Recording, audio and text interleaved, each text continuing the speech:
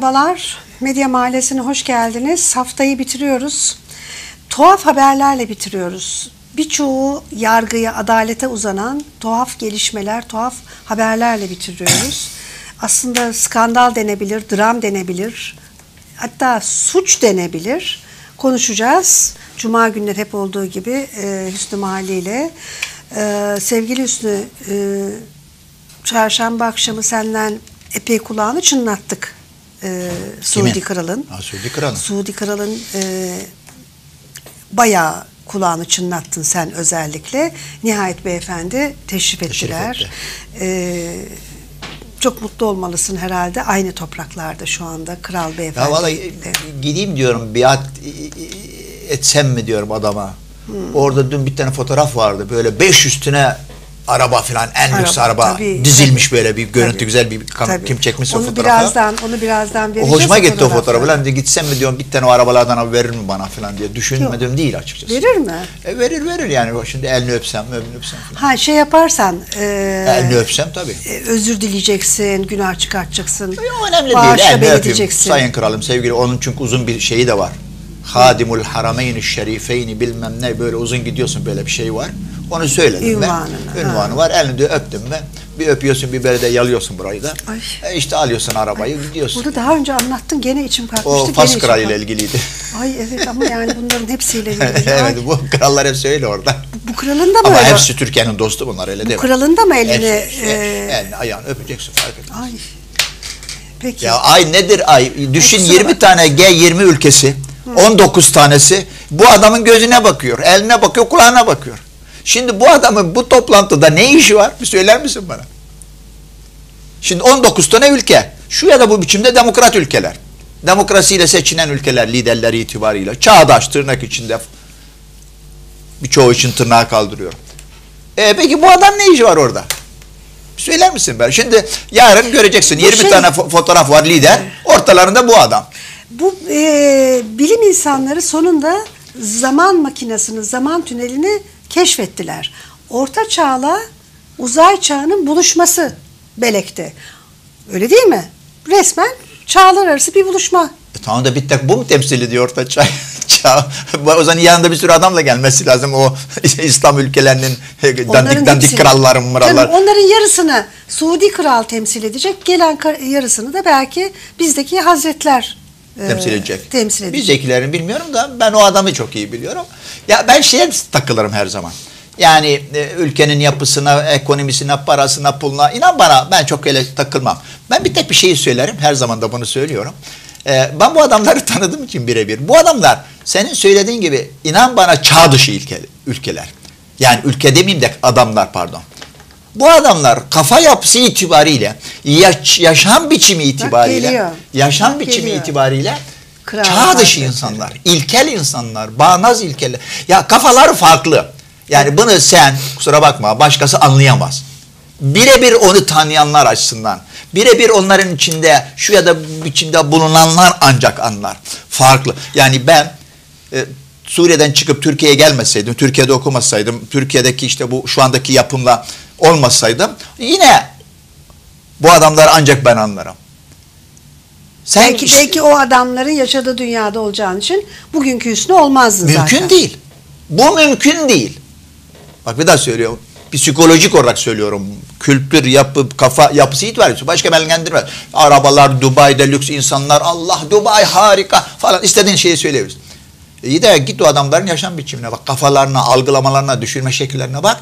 İnan bana demin sen söylediğin orta çağla e, yakın çağ, yeni çağ filan hepsi ancak böyle olabilir çelişkileri itibariyle. Bu kadar olabilir. Başka bir türlü olamaz. Evet. Bunlar çünkü çok farklı bir şey bu, bu yani. Neyse girmeyeyim Şimdi birazdan ya. döneceğiz. Birazdan döneceğiz bu görüntülere, e, bazı rakamlara, e, neler olup bittiğine döneceğiz. G20 zirvesi ve özellikle e, Kral Hazretlerine. Ama e, hani e, Orta Çağ e, dedik ya, e, gündeme özellikle bana göre böyle bir haber e, damgasını vurdu. Diyarbakır'dan onu vereceğim ama. E, önce e, bir borcu eda edelim. E, Van'ın Erciş ilçesinde gene Ha, yine bu PKK terörü, e, çatışma ve gene bir şehit daha. E, sen gördün mü bilmiyorum Erciş'i bilir misin? E, Yok Van'a gittim de Erciş'e gitmedim. Olağanüstü güzel Van'a bir gittim, ilçedir. gitmedim. Erciş olağanüstü güzel bir ilçedir ya da ilçeydi. Ee, göl kıyısında e, onlara ifadesiyle denizin orada e, bir ilçedir. Şahane. Ama orası ölümle anılıyor. Yani hem de gencecik insanların bir e, subayın, biraz subayın şehit haberi hakikaten e, yürekleri daha ne kadar yakacak bilmiyorum yakıyor. Şimdi e, Van Yakıyor dedim. Erciş'ten Bak, araya gireyim. Dün bir açıklama vardı insan hakları ihadenin. Ee, Haziran seçimlerinden sonra bugüne kadar yani dün evvelsi güne kadar 602 insanımız öldü. 7 Haziran'da. ama. Evet 7 Haziran'dan bu yana. Ya, Kim peki bunları? Yani herkes unuttu bunları. evet. Acı olan da bu ya. Yani biz bakın üzülüyoruz. İşte bu haberi verirken bile içimiz titriyor. Üç gün sonra tabii ki ailesi, eşi, dostu hayat boyunca unutmayacak bunu. E ama bu toplum unutuyor bunu. Ya bizim üzüldüğümüz hikaye de bu zaten. 602 ya. Haziran'dan bu yana 602. Yazık günah değil mi? Maalesef. İşte bir az subay daha eklendi o rakama. Evet. Ya bu bir işte. şehit daha eklendi. tabii yani dün Evet. işte Silvan'da olanlar, evet gün şeyde olanlar ayrıydı onlar. Bu yani 3 gün önceki Tabii. rakamı söylüyor. Tabii. Şimdi efendim e, bu çağda olmaması gereken şeyler yaşıyoruz. İşte korkunç şeyler. Yani e, evladınızı askere gönderiyorsunuz. Beyaz e, pardon bayraklı bir tabut içinde geri geliyor. E, sonra da e, evlat diye beyaz mermerleri okşuyorsunuz. Hakikaten yani e, dile kolay işte. Ne oldu anlattık. E, henüz e, ismi yayınlanmadı şehidin. Dolayısıyla e, yayınlansa da ailesinin haberi var mı? Çünkü sabah erken saatlerde oldu bu olay. Ge- e, gecenin geç e, vakitlerinde. E, dolayısıyla e, aile biliyor mu emin olmadığım için Biliyordur zaten bence. e, Anında bildiriyorlar çünkü. yani gene de şu an itibariyle ismini e, vermek istemez ama zaten belli değil. Evet. Şimdi efendim e, bu acı olaydan tokat gibi bir olaya geçmek istiyorum. E, Diyarbakır'dayız e, bu sefer. E, Diyarbakır'da bir kız çocuğu 11 yaşında 11 11 yaşında sadece 11 yaşında Ee, 9 Ekim'de e, evinin orada kaçırılıyor.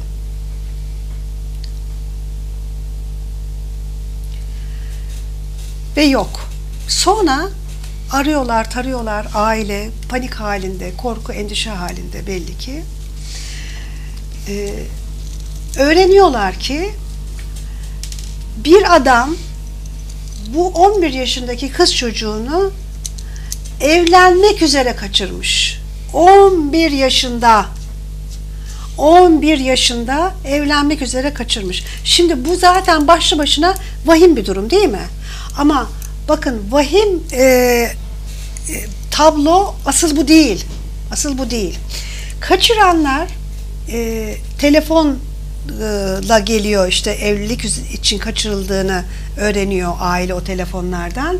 Yetmiyor. E, bir e, CD geliyor, kamera kaydı geliyor aileye, kızın ailesine.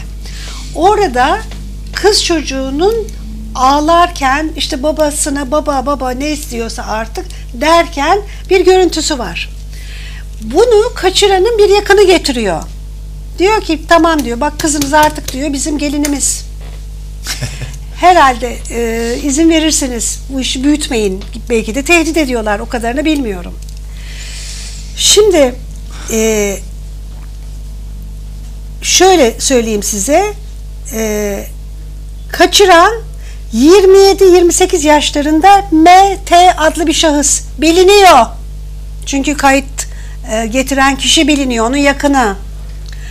9 Ekim'den bu yana kayıp. E, 15 Ekim'de gelmiş bu CD. Şimdi geliyoruz insanlık suçuna. Hani burasıya kadarı korkunç, vahim vesaire. Tabii ki polise intikal ediyor. Aile zaten gidiyor. Diyor ki "Kı- önce kızımız kayıp diye gidiyor önce. Sonra bütün bunlar öğreniliyor. Ee, ama bir türlü polis harekete geçemiyor. Neden biliyor musunuz? Ay hay Allah tam da şimdi Sur ilçesinde olaylar var. Aa ne kötü tesadüf. Ee, resmi tatil oldu biliyor musunuz? İnşallah resmi tatil bitsin. İşte 29 Ekim şusu busu. Aa bakın ondan sonra pazarı var, cumartesisi var. İnşallah arayacağız. Seçim geldi araya. Tabii seçim de var. 33 gündür bu kız çocuğu bir yerde esir, tecavüz ediliyor. Ee, korku içinde 11 yaşında küçücük bir kız çocuğu ve polis bu insanları bulamadı. 33 gündür bu kız çocuğunu kurtaramadı. Şimdi kadın örgütleri e, bunun üzerine e, ortaya çıktı. Diyarbakır'da Özgür Kadın Kongresi e, diye bilinen bir platform, kadın örgütlerinin platformu ortaya çıktılar. E, dediler ki çocuğun hayatından endişe ediyoruz. Bu çocuk ve ailesi 33 gündür bu travmayı yaşamaktadır. Devletin tüm kurumları 11 yaşındaki çocuğun bulunması için tüm imkanlarını seferber etmelidir. Ayrıca MT'nin ailesi ve çevresi işlenen bu suça ortak olmamalıdır. MT kim kaçıran kişi belli. Ya e, yani gerçekten hani bunlara falan baktıktan sonra Hüsnü benim durup da efendim işte e, şurada da bu oldu burada da bilmem ne oldu işte e, Japonya Başbakanı kabul edecekmiş bugün Erdoğan ha ha ha ne güzel işte e, filan e, Davutoğlu da filan bilmem ne bakanını kabul edecekmiş G20 için gelenlerden birileri bunlar ya biz ne konuşacağız 11 yaşında yani Ya niye Delirir insan, sen? delirir Yo, insan. bence bence şey gayet normal. Şimdi diyeceksin ki nasıl normal? Normal. Ay Hatırla. yapma ya. Bir dakika hatırla. Hatırla. Bundan birkaç ay önce e, Hazretleri bir e, hocamız, bir profesörümüz TRT'de çıktı konuştu biliyorsun. 8 yaşında evlendirebilirsiniz çocuklarınızı dedi. Dedi mi demedi mi? 8 yaşında. E Sekiz se- dedi mi hakikaten Dedi ya? tabii canım. Değil. Hayır 8. Sekiz 8 hatta. dedi canım dedi tabii 8 dedi. Profesör. Evet profesör. TRT'de. Evet. O zaman da tartışması oldu yani bu. Tabii canım bitti E yani. peki. Hani üstünden yani geçti. 8 8 bak 3 ay 3 yıl geç kalmış bu. Yani 8 yaşında da kaçırabilirdi yani bu aşağılık yani. Yani Düşünebiliyor musun? Tamam. Yani dolayısıyla koskoca bir profesör TRT'de, devletin televizyonunda Bak, çıkıp adamlara ya kardeşim 8 sevgili 8'de Hüsnü, kaçırın. Zaten o, bu, bu yaşta çocuk gelin hakikaten bir insanlık suçu ama yetmiyor. Bu kızcağız bir de ailesi rızasıyla vermiyor. Bu kız çocuk kaçırılıyor. Ya rehin. za- rızası veriyorsa Tecavüz ediliyor bu çocuğa. rızası veriliyorsa zaten o rızayı verenleri de kesmek gerekiyor Kesmek gerekiyor tabii. Ne demek rızası yani şimdi bu kadar aptalca olur mu rızası? Ne rızası ya? 8 yaşında, 10 yaşında, 11 yaşında, 12 yaşında, 15 yaşında çocuğu e, 40 yaşında, 50 yaşında e, insanlara veriyorsun. Ve yani düşün. Ee, Nurettin Yıldız'mış o profesör e, bulmuş. Neyse e, yani. Ben Hüseyin. isimleri fazla kullanmadım. Ayrıca 8 değilmiş 7 yaşmış. Yani neyse bak. Bak, bakın şu adam e, maalesef e, bizi radyodan dinleyenler e, bu şeyi mübarek suratı göremiyorlar. Bu beyefendi diyor ki 7 yaşındaki kız çocuğu evlenebilir diyor. Diyor bunu. Evet. A- yani Şimdi bak. Demin Suudi Arabistan kralla başladık ya. Kral Hazretlerinin ülkesinde, Yemen'de, Körfez ülkelerinde, Sudan'da, Afganistan'da, Pakistan'da, İslam ülkelerinin birçoğunda, Mısır'da ve Türkiye'nin işte örneklerinde Bu zaten yapılıyor Ayşenur Allah aşkına. Yani dolayısıyla biz cinayet, insanlık suçu, bilmem ne suçu yani bu kavramlar artık bizim gibi toplumlarda bir fantazidir. Bu kadar net söylüyorum ya. Fantazidir. Ay, Yani bunlar böyle aşağılık şey ideolojiler, Nasıl aşağılık şey ideolojiler. ya? Ya ben unutmuyorum şeyde Yemen'de, Yemen'de iki sene önceydi.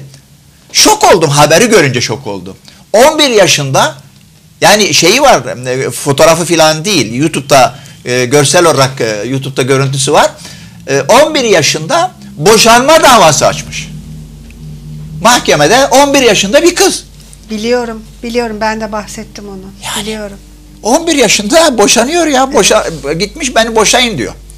Evlendi adam 44 yaşında. Evlendirildiği. Evlendirildi. Bu bir örnek değil. Bir tane değil, iki tane değil, on tane değil, yüz tane değil, bir milyon değil, beş milyon değil, bilmem kaç milyon. Şimdi- bir daha söylüyorum oraları bildim. Vazgeçtik bundan. Geçen de ben anlattım buradan Suriyeli bir işte 12-13 yaşında yanında da 3 tane çocuk. Uçakta ben Beyrut'a Evet, giderken. Evet, evet. Burada burada şu anda 2 milyon Suriyeli varsa örnek veriyorum. Atıyorum e, işte bunun da e, 500 bini de e, genç kızsa yat atıyorum rakamları. Hadi 100 bin İnan bana, inan bana bunların yüzde 90'ı 95'i 99'u 15 yaşın altında evlendiriliyor. 14'ün altında da evlendiriliyor. 13'ün de altında evlendiriliyor. Ya az önce gördük onu Ya, o, için o yani o o neyse varlık o varlık e, Nurettin Yıldız 7 yaşında evlenebilir kız çocuğu diyor. Bu arada zaten şöyle e, kadın spiker dinlemek sunucu dinlemek caiz değilmiş. Dolayısıyla e, hani Ha, sen tabii geçerli değil sen kadınların çalışması katiyen söz konusu Evet. olamaz. Kadın spiker e, hani günah benim boynuma çalışıyorum diyelim ama izlerseniz siz de günaha girmiş oluyorsunuz falan. 7 yaşında evlenebilir diyor. Şimdi bak bütün bu söylediklerini Türkiye'nin gerçekten Orta Doğu ülkesi e, olduğunu hızla Afganistan Ve, olduğunu, e, Pakistan olduğunu Evet olduğunu Doğu görüyoruz. değil ki. Ama eğer bizim e, bunun karşısında güvenlik güçlerimiz ve adaletimiz, yargımız da hakikaten teslim olmuşsa biz ne konuşuyoruz bilmiyorum. Bakın tekrar söylüyorum. Bir tane sapık bu kızcağızı kaçırmış olabilir evlenmek için. O sapığın ailesi aa gelin geldi demiş olabilir. Bütün bunlar olabilir. Ama bir polisin her şeyden önce hemen bütün her şeyi bir kenara bırakıp 11 yaşında bir, bir çocuğu tecavüzden kurtarması gerekiyor. Bunun adı tecavüz çünkü. Bu başka bir şey değil. İ- Adam kaçırma, tecavüz vesaire. Çok ve 11 yaşında bir çocuktan söz ediyoruz. Efendim orada olaylar çıkmış. Aa gidememişler. Burada bilmem 33 gündür isim belli. Daha ne diyeyim ben ya? Onlar bunu yapacaksa dediğim gibi sapıklar olabilir. Ayşenur Anayasa Mahkemesi Anayasa Mahkemesi imam nikahını tescil etti mi etmedi mi? Bundan daha ötesi bir şey konuşmana gerek yok. Bak imam nikahını tescil ediyor. Diyor ki evet imam nikahı evlenebilirsiniz. Bitti. 11 yaşında da 15 yaşında da 80 yaşında 90 yaşında da eğer bu ülkede tek eşlilik anayasal bir e, zorunluluksa yasa gereği ve sen evlisin imam nikahı al 12, ten- 12 yaşında imam nikahı al 15 yaşında al 8 yaşında al 9 yaşında. Ya Canik Yani hani sen diyorsun ki bilmem ne. Yani tamam da artık katmeri var bu işin. E, katmerin de ya. katmeri de olacak. Ha, hadi onu söyleyeyim o zaman hadi. Katmerin de katmeri olacak evet. Biz niye o zaman yırtınıyoruz, bağırıyoruz, çağırıyoruz lan karanlık bir çağ geliyor, karanlık bilmem ne geliyor. Aha bu da bu işte. Evet. Yani adım adım gelecek, illa toptan gelecek hali yok. Yavaş yavaş gelecek. Şu bu şekilde gelecek, öbür şekilde gelecek, o bir şekilde gelecek, şöyle gelecek, böyle gelecek. Yani yarın öbürsü gün, yarın öbürsü gün dün Sayın Cumhurbaşkanı diyor ya, yani işte e, çarşaf ve türban e, mahkemelerde henüz şey yapılmayacak falan diye.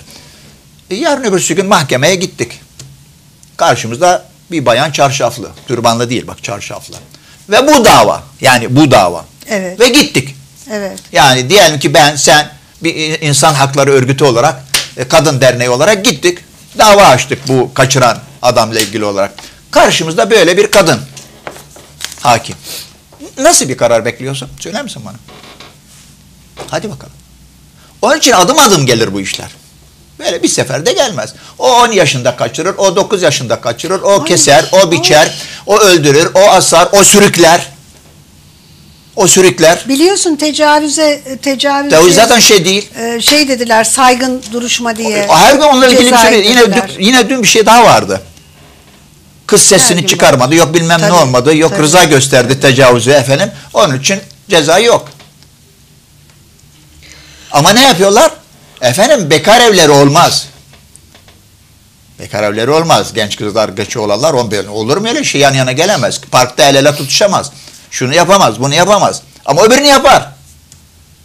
Öbürünü yapar. Çünkü ideoloji bu. Taliban'da da bu. İşit de bunun alası. Sapıklık. E işte ideoloji, ben niye sapıklık. söylerim şu üç kelime çok. Bak sapık, manyak, ruh hastası. Bu üç kelimeyi çok kullanırım. İnan bana yüzde yüz bilinçli olarak kullanıyorum. Bak bilinçli olarak kullanırım bu üç kelimeyi. Asla böyle hani dil alışkanlığından kullanmam. Çok bilinçli olarak kullanırım. Çünkü bu adamlar gerçekten sapık. Gerçekten sapık yani. Bu ideolojiye inananlar. Bu kadar mı söyleyeyim? Ve teker teker TRT sayesinde sağ olsunlar bizim hani paramızla bizden alınan vergilerle yayın yapan TRT sayesinde bu beyefendileri teker teker tanıyoruz. Çıkıyorlar işte e, çok değer verdikleri hocalar işte e, birilerinin çıkıyorlar orada e, ideolojilerini kusuyorlar. Evet kadın evine kapanmalı, çalışmamalı, kadın çocuk doğurmalı, kadın e, Börek yapmalı. börek yapmalı, börek açmalı vesaire. Şimdi bakın bir başka e, olaya geçeceğim. Yargıdan gene. E, Ethem Sarısülük davası. E, Yargıtay usulden bozdu Ethem Sarısülük davasını. E, ve e, gene güvenlik gerekçesiyle biliyorsunuz bir oraya gönderilir davalar, Gezi'de öldürülenler için hep biliyorsunuz. En son Aksaray'a gönderildi Ethem Sarısülük davası. Ee, Aksaray'da yeniden görülecek davanın ilk duruşması da belli oldu 11 Ocak'ta ve bunun üzerine e, sanık Ahmet Şahbaz biliyorsunuz polis memuru o e, bu o görüntü, e, bu duruşmadan görüntü. E, polis e, Şahbaz bakın ha tam da bu görüntü işte. Peruk ve gözlük takmış tanınmamak için ama sonra tanındı, görüldü, bilindi. E, Ahmet Şahbaz'ın e, Ahmet Şahbaz'ın e, ifadesinin video konferans sistemiyle e, alınması için e, cezaevine e, yazı yazıldı. Elmadağ'da cezaevine yazı yazıldı. Elmadağ cezaevine. Bunda ne var diyeceksiniz değil mi? var. Çünkü Ahmet Şahbaz tahliye oldu. Cezaevinde değil. Cezaevinde değil. Nerede peki bu sanık? Aa bilmiyorlar. Zaten adli kontrole falan da gelmemiş. Epeydir ne, yeri falan bilinmiyormuş. Adresi yokmuş Ahmet Şahbaz'ın. Ethem Sarı Sülü'yü öldüren polis tahliye oldu. Yeniden yargılama olacak falan diye. Usulden bozdu bu arada e, Yargıtay bu davayı. Ama bu arada e, zaten 9 ay gibi bir e, şeyle e, hükümle e, ceza yemişti. Bu işte vurdu ve kaçtı. E tahliye oldu. Bir, skandalın biri. İki, mahkemenin bundan haberi yok. Yani Bana bakıyorsun sanki üç, mahkeme benim. Üç, şu anda onun nerede bu e, şahbazın e, polis şahbazın nerede olduğunu bilinmiyor çünkü adresi yok. Dört, e tabi geldi bah, e, inan Türkiye'de adalet var mı? Yok. Adresi yok. Adresi de yok, kendi de yok. Nasıl adresi yok? Yani hadi hepsini öbür, öncekilerin sonrasını anladım da adresi yok ne demek? Yani uzayda mı yaşıyor bu? Yani belki de Ya- NASA'ya başvurmuş olabilir. Ya onu diyorum Ayşenur. Yani anlatacak o kadar rezalet var ki. Bir, iki, üç, her sektörde, her alanda, her düzeyde. Üçüncüsünü de konuşalım sonra başlayalım. Konuş bakalım. Efendim e, İlginç Cüneyt, ilginç hikayetler bulmuşsun sen bugün. Nereden Cüneyt? Arca Yürek e, hem de hangi gerekçeyle biliyor musunuz?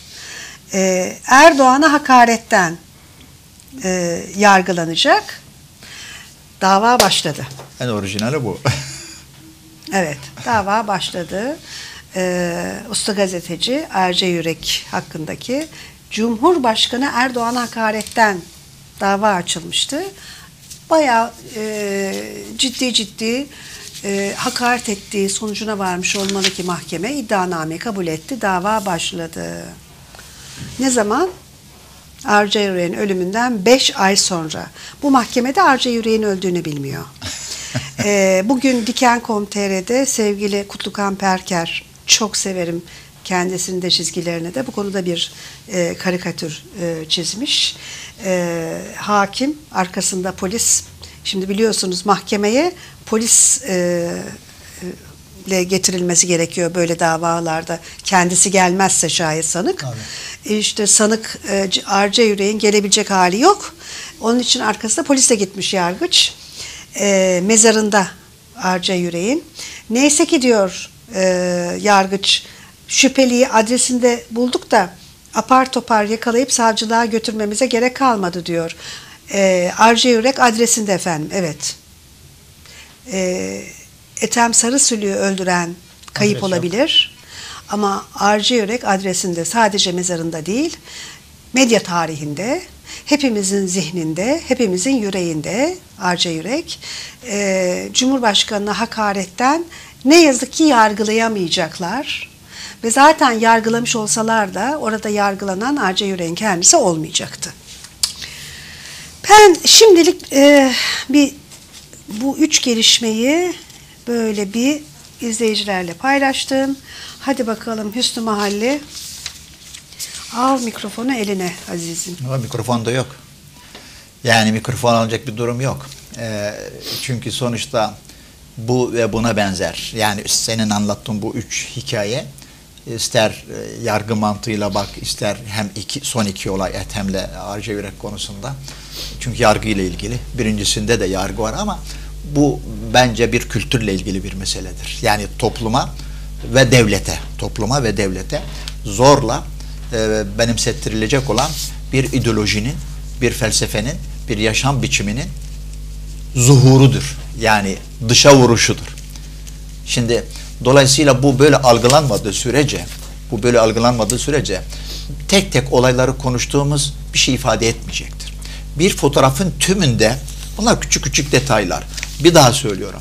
Bu bir ideolojidir ve bu ideolojiyi AKP devlete ve topluma bak devlete tamam devleti ele geçirebilirsin bütün organlarıyla. Devleti istediğin şekilde yönlendirebilirsin, şekillendirebilirsin. Bunlar tamam. Bu çok önemli olabilir. Ama daha önemlisi benim açımdan topluma bu yaşam biçimini zorla benimsettirmek. Örnek vereyim. Yani biz demin o senin anlattığın 10 yaşında 11 yaşında kız olayı var ya. Biz 5 sene sonra 5 sene sonra bunun gibi bin tane örnek göreceğiz örneğin. Daha sonra 10 bin olacak örnek. Ve artık Ama- haber değeri kalmayacak. Ha, oraya gelecektim zaten. Toplum diyecek ki e ne var ki bunda? O hale gelecek. Bak inan bana o hale gelecek. Neden söylüyorum? Bir daha hep bunu tekrar ediyorum ki kafalarda çok iyi yerleşsin diye. Çünkü bu tür haberler bizim Orta Doğu İslam aleminde, Afganistan'da, Pakistan'da, Mısır'ın güneyinde ya da Sudan'ın ortasında bu tür haberler çok normal haberler. Çünkü onların mantığında e, kızlar evlendirilir. İster 10 yaşında 11 yaşında fark eder ki bir yaş eksik bir yaş fazla. Bir. İki e, zaten dört tane alıyorsun. Yani dört tane alacağına göre e, müsaade et de işte 40 olanın yerine 20 alacaksın. 20'nin yerine 15 alacaksın. 15'ine de 10 alacaksın. Matematik olarak yapıyorum şimdi sana bunu. Oradaki mantık bu. Bak öyle bu çok önemli. Çünkü gittikçe yaşı indiriyorsun. Bir yaşam biçimi olarak tekrar o sapıklar açısından söylüyorum. E ne yapacaksın? Yani bu bir yaşam, toplumun yaşam felsefesinde ve beyinlerinde yavaş yavaş demin ki hocanın yaptığı gibi yani koskoca bir profesör yani Ayşe çok affedersin Hüsnü Mahalli ya siz ne anlarsınız ya bu işten? Kimsiniz siz ya? Hatta zaten sen kadınsın. Senin konuşma hakkın yok ki. Değil mi? E ben de zaten gelmişim Arabistan çölünden ne anlarım ki? Hoca ya, hoca efendi biliyor orada. Hoca koskoca hoca. Siz ne bilirsiniz? Kur'an'da mutlaka yazmıştır. E peygamber, peygamberimiz de mutlaka söylemiştir. Ha, sahabalar da filan diyecek. Neden bunu söylüyorum? Sabah aç televizyonları. Birçok televizyonu, yandaş televizyonları. Sabah din programlarında ne görüyorsun? Bir söyler misin? Ya, ya, Buna benzer konular görmüyor musun? ya. Sevgili seyirciler de açsınlar arada bir baksınlar orada. Orada işte ah bunlar konuşuluyor. Yani bilinç altında yerleştiriyor. Ve orada seyreden ben görüyorum işte örtmüş sözler başörtüsünü gelmiş kadınlarımız. Ağzını açmış böyle bakıyor. Baygın baygın. O adamların anlattığı hasbel kadar Kur'an'ı da dini de bilen birisi olarak inan bana anlattığının yüzde doksanı palavra ya. Dinle minle ilgisi yok. Yok öyle bir şey. Ama toplum bu şekilde bombardımanla günlük günlük günlük yaşam biçimi haberlerle haberlerle hop kilitleniyor beyni. Kilitlenince ne olur? Teslim olursun. Yani bir daha söylüyorum. Bu haberler normalleşir. Haberler normalleşir. Bak önce tehlike bu değil. Kendisi yani haberin kendisi de sana bir biçim yaşam biçimi olarak benimsettirilir. Yani yarın öbürsü gün 10 sene sonra 20 sene sonra Anadolu'da Türkiye İstanbul'un şey varoşlarında insanlarımızın ezici çoğunluğu. Hadi bir de şey var ya evlilikte keramet var. Biliyorsun o lafı. Evlilikte keramet. E, Ya kızlarımız da yani bir an önce evlensin. Ev bark sahibi olsun. Çoluk çocuk sahibi olsun. Al sana 12 yaşında 13 yaşında 10 öyle gider, giderler. Giderler. Vallahi giderler.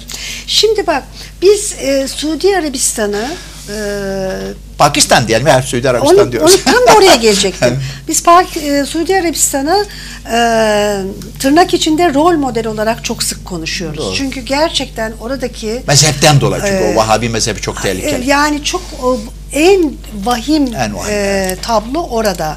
Yani kadınlar sahiden e, eşya gibi neredeyse e, muamele Hep şey görüyor. söylenir ya. Efendim kadın araba kullanamaz Suudi Arabistan'da. Tabii. Ya o işin en fantazi tarafı. Tabii, yani en araba kullanamaz değil. Kadın yok ki. Kadın yok. Doğru söylüyorsun. Yani araba Şimdi bak, kullanamazmış. e, Suudi Arabistan'ı biz e, en uç örnek. Bir kenara bırakalım. Dediğin gibi Pakistan'a gelelim. Afganistan, Afganistan'a Pakistan. gelelim. Afganistan'da bir zamanlar bu ülkeye benzer bir yaşam vardı. Tabii. Pakistan'da e, buna benzer bir yaşam vardı. Kadın başbakan çıkartmıştı Benazir Bhutto. kesinlikle. e, Pakistan'da. Şimdi Malala adlı bir kız çocuğu hatırlarsınız sonunda çünkü Nobel aldı. Nobel aldı. Malala. E, Malala niye vuruldu? Kız çocukları da okusun dediği için vuruldu. Kastı ne biliyor musunuz? Malala e, küçük bir kentte, ilçe boyutunda herhalde İlçe. kentte okuyordu. İlçe. E, orada bir okula gidiyordu Malala. E, kızla erkeklerin e, ayrı sıralarda oturduğu, hepsinin de işte Kur'an-ı Kerim okuduğu, öğrendiği, zaten bir tür neredeyse ey, şeriata göre e, şekillendirildiği ya da İslami anlayışa göre diyelim şekillendirildiği bir şeydi. E, ne denir? E, eğitim sistemi vardı. Bu kızcağız buna razıydı. Taliban geldi dedi ki hayır kız çocukları okula gidemez. O eğitim sistemini savunarak, o eğitim sistemini isteyerek Malala ne olur biz kızlar da okuyalım diye yırtındı, çırpındı zavallı. Ve onun üzerine e, küçücük o da 13-14 yaşındaydı 13 yaşında. e, vurulduğunda Taliban geldi resmen kurşuna dizdi Malala'yı. Neyse ki çok uzun tedaviler sonunda sağlığına kavuştu. Ama işte Pakistan eğer e, basbayağı seküler bir e, ülke gibi e, Görünüyor. yıllar geçiren Mısır. Mısır. Mısır'da o Müslüman kardeşlerin yükselişi, e, Mursi vesaire tam şeriatı dayattı oradaki kadınlara. Ha bak şimdi e, Katar'da e, bu hani Katar emiri çok gidip geliyor ya burada. Hatta biliyorsun İstinye Caddesi'nin adında Katar yaptılar. Ay, evet. O adam çok Türkiye'de acayip yatırımları var. İşte bu Dijitürk'ü satın aldı. Neler aldı da aldı, aldı da aldı. Neredeyse Türkiye'nin yarısını satın alacak bu adam. E, Türkiye'nin çok çok acayip dostu bu abimiz. Yakışıklı Prens'in ülkesi. E, ben yıllar önce kaç 7-8 sene oldu galiba. O, üniversitede konferansa gittim. Belki anlattım bunu. Üniversiteye konferansa gittim. Rektör beni götürüyor. Başkent Doha'dan çıktık. Böyle üniversiteye gidiyoruz. Orada daha üniversiteden yani otobandayız. O üniversite göründü. E, Kızlar ve oğlanlar diyor. Kampüs şeye yani otobandan ayırdılar kızları oğlan. Sen diyorsun ki yani ilkok bu üniversite. Kızların kampüsü ayrı, oğlanların kampüsü ayrı. Tabii. Yani ben gittim erkeklerin bölümüne ders şey verdim, konferans verdim. Sonra dedim ki olur mu ya ben o tarafa da gideceğim yani kızlara da konferans vereceğim. Ya ayrı yani bu taraf ayrı otobandan sanki millet birbirine tecavüz ediyor. Düşün üniversite bu. Ve o bir tarafa gittim yani kızların oğlu rektörle beraber gittim. Simsiyah. Hepsi kapalı yani yüzleri açık ama hepsi e, kapalı. E sen orada diyorsun ki Malala işte e, Afganistan ilkokul bilmem ne. Ya üniversite bu üniversite. Üniversite. Ne kadın korkusu nedir? Nedir bu kadın korkusu Allah aşkına İslam ülkelerinde? Ben bak kadın korkusundan daha çok o boyut tamam sana göre. Ama ben farklı bir açıdan bakıyorum Tamam. oraya. Kadının teslim olması. O kültür, o yaşam biçimi, o işte demin anlattım yani Türkiye benimsettirilmek istenen şey kadın teslim ol diyor. Kadın bizim buradaki kadın bakan var ya kadının işi evinde oturmak börek yapmaktır. Kocasına hizmet etmektir. Kadın evden çıkmaz çocuk doğurur. Başka bir şey yapmaz. Algısını yerleştirmektir bilinçaltına. Bu 100 yıldır, 300 yıldır, 5 yıldır, 1000 yıldır böyle getire getire getire bu hale getirdi. Yani ben sana söyleyeyim oradaki kadınların, kızların yüzde 99,9'u 3-5 tanesini çıkartayım. İnan bana dü- dünyada düşündüğü tek şey var evlenmek. Kafasında asla bir ideal yok. Bak asla. Bu kadar iddialı konuşuyorum. Yani ben okuyayım da profesör olayım da işte bir şey yapayım da gideyim de insanlara hizmet edeyim de atıyorum bildim. Sağ solcu olayım, devrimci olayım. Sağ, Aa, hala bu solcu, devrimci onlar bir tabi. Affedersin yanlış söyledim bu kelimeleri. O toplumlar Zaten. için. Zaten. yani. E, e o zaman yani kadının bilmem niye böyle sorgulanmasından daha çok benim sor- söylediğim sorgulanması gerekiyor. Çünkü artık teslim olmuş, bitmiş. Bitmiş. Evleneyim, ya çoluk çocuk olayım, ve bilmem ne olayım falan filan. Ben e, çok haklısın. Ben aynı şeyi Türkiye'de de görüyorum. E, aha. yani e, hatta güzel işte. hatta şöyle kimi kadınlar eve kapanıp eşya olabilmek için şu anda militanlık yapıyor. Doğru. Beni en çok şaşırtıp delirten de bu. Evet. Yani günün birinde hiç olmak için slogan atıp öne çıkan kadınlar, geriye gitmek için öne çıkmak. Bu nasıl bir şey? Anlamakta çok zorluk çekiyorum. Peki şimdi bu e, bir kenara bırakalım. Gelelim yargıya. Yargı bu kadar mı teslim alındı? Bu kadar mı şaşkına döndü? İşte sanığın yeri ya genç bir insanı Ayşenur, öldüren biri nasıl yargı- tahliye olur? Nasıl Ayşenur- sonra bulunamaz? Ayşenur kendileri bile söylüyorlar. Yargının içinde efendim yüzde kırk paralelci var. Bakan demedi mi bunu ya Allah aşkına ya? Evet. E o yüzde kırkı temizleyecekler. Yani yargıda atıyorum 20 bin yargı yargıç varsa şu kadar da savcı varsa bunun yüzde kırkı paralelci ise yüzde de on beşi de solcu ise liberalci ise layıkse inan bana bunların tümü temizlenecek. Sayın Cumhurbaşkanı, Sayın Başbakan 1 milyar sefer, 8 milyar sefer lafın gelişi inlerine gireceğiz dedi mi demedi mi ya? Bu o demektir. Yargıda hiçbir tane paralelci kalmayacaktır. Kim ne yaparsa yapsın Canım paralelci kalmasın Ha, zaten. Tamam. Yani ha, her var. açıdan Ha, kalmasın. Şimdi da. şöyle yapıyor diyor. Var var. Şimdi şöyle var. Atıyorum İstanbul'da bilmem şu dairenin bilmem ne şu hakimi. Alıyorlar bunu. Sen demin dediğin gibi e, e, Van'ın bilmem Erciyeş, işte Diyarbakır'ın Silvan, Urfa'nın bilmem Siverek filan gibi yerlere atıyorlar. Başlangıçta öyle. Başlangıçta. Zaten sen orada E, Orada da kuşatılıyorsun. Orada da işte e, AKP örgütü tarafından kuşatılıyorsun, polis tarafından kuşatılıyorsun, MİT tarafından kuşatılıyorsun, takip ediliyorsun. En ufak bir açın yakalandığında HSYK yallah güle güle gü- sana diyor. Biliyorsun HSYK'nın böyle bir... Ben bak demin söylediğin şeyle de bağlantılı olduğunu düşünüyorum. Dediğin gibi eğer teslim olmazsan kolay değil bu işler. Kadın bu coğrafyada teslim oldu. Kadın bu ülkede teslim oluyor. Hepsi değil, çok şükür hepsi değil. Yani belli bir Türkiye zümre- için mi söylüyorsun?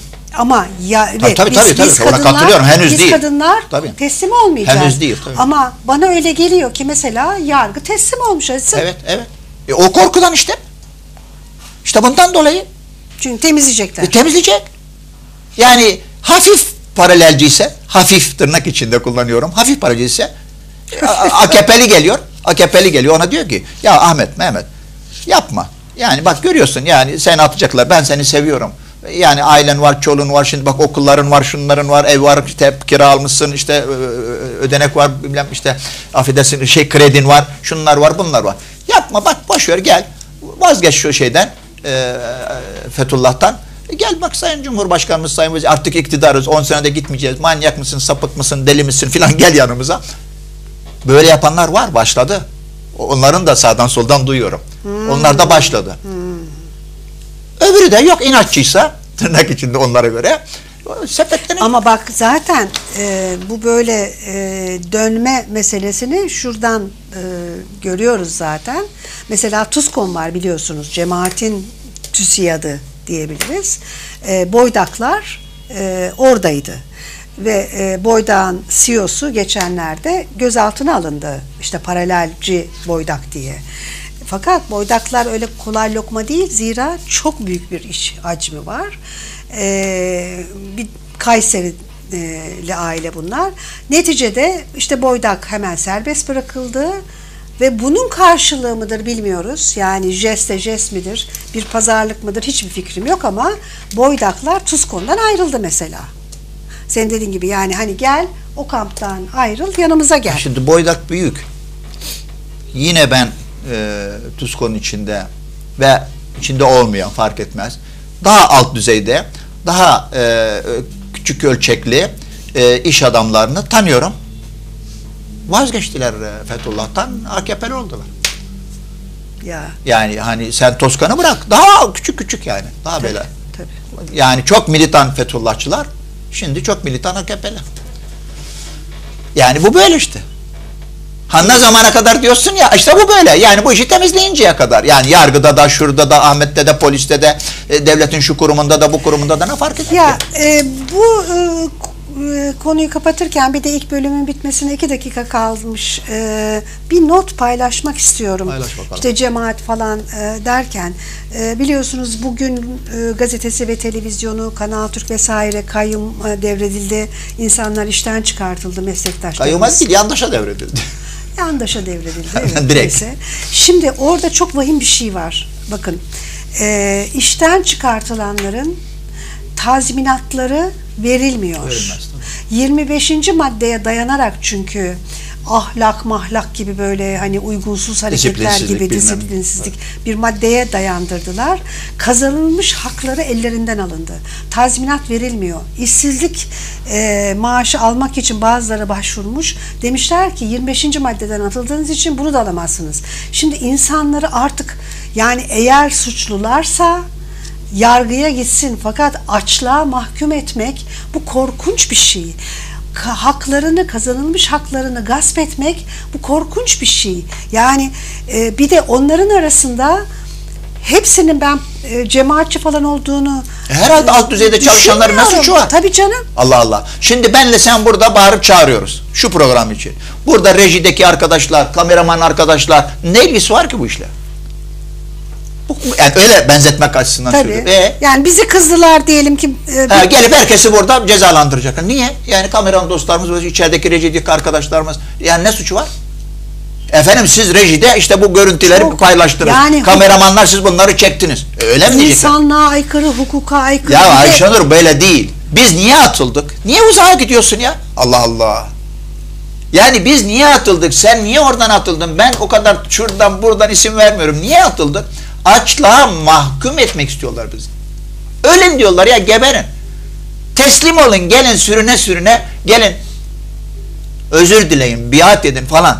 Bunun için yapıyorlar başka. Uzağa gitmeye gerek yok. Niye işte Kanal Türk anlatıyorsun bana? TRT'den atıldı. Ben kendi açımdan hadi söyleyeyim. Ya tamam Şuradan da bizim, atıldım, akşamdan atıldım, bak, oradan.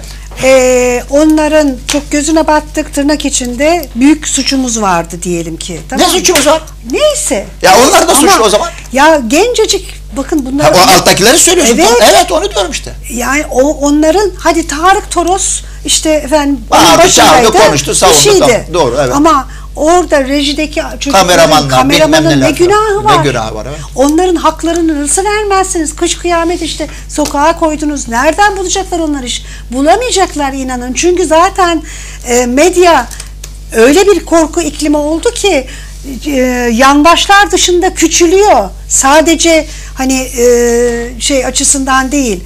E, siyaseten küçülmüyor. Kadro olarak da küçülüyor. Yani bilmiyorum bunu söylemek istedim. Çok ayıp ya. Çok ne yani nasıl derseniz Kriter ne? artık. Kriter. Ben hep sana vurguluyorum ya burada vicdan. Vicdan. Vicdansızlığın, vicdansızlığın yüzde onu, yüzde beşi yok. Ha kafa kesmişsin, ha bu çocuğun anasının, çocuğunun bilmem nesinin ekmeğiyle oynamış. Evet. Bence aynı hiç. Efendim e, dönüşümüzde biraz daha belki gündeme bağlı olarak konuşacağız. G20 meselesi. E, Silvan, bugün manşetlerde pek çok gazetede Silvan var. Silvan'da çünkü abluka'nın e, sokağa çıkma yasağını vesairenin 11. günü. E, bir de hadi savaşa hazır olun diyor kimileri. Öyle mi? Konuşacağız. Görüşmek üzere.